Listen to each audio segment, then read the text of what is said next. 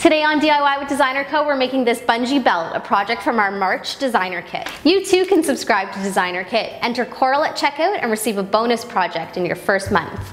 You'll need bungee cord, two rope caps, jump rings, a toggle clasp, two pairs of needle nose pliers, a pair of fabric scissors, a glue gun, and some tape. Cut the bungee cord to fit comfortably around your waist, making sure to tape the cut mark first to avoid fraying.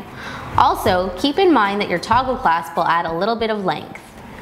Using your glue gun, glue one rope cap onto each end of your rope. Hold the cap with paper towel or tissue to avoid burning your finger when the metal gets hot. Using your pliers, attach a jump ring to one end of your toggle clasp and to one end of your rope caps.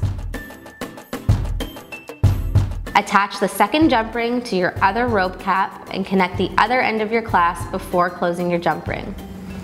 If you accidentally make your belt too short, you can always add length with extra jump rings or a small piece of chain.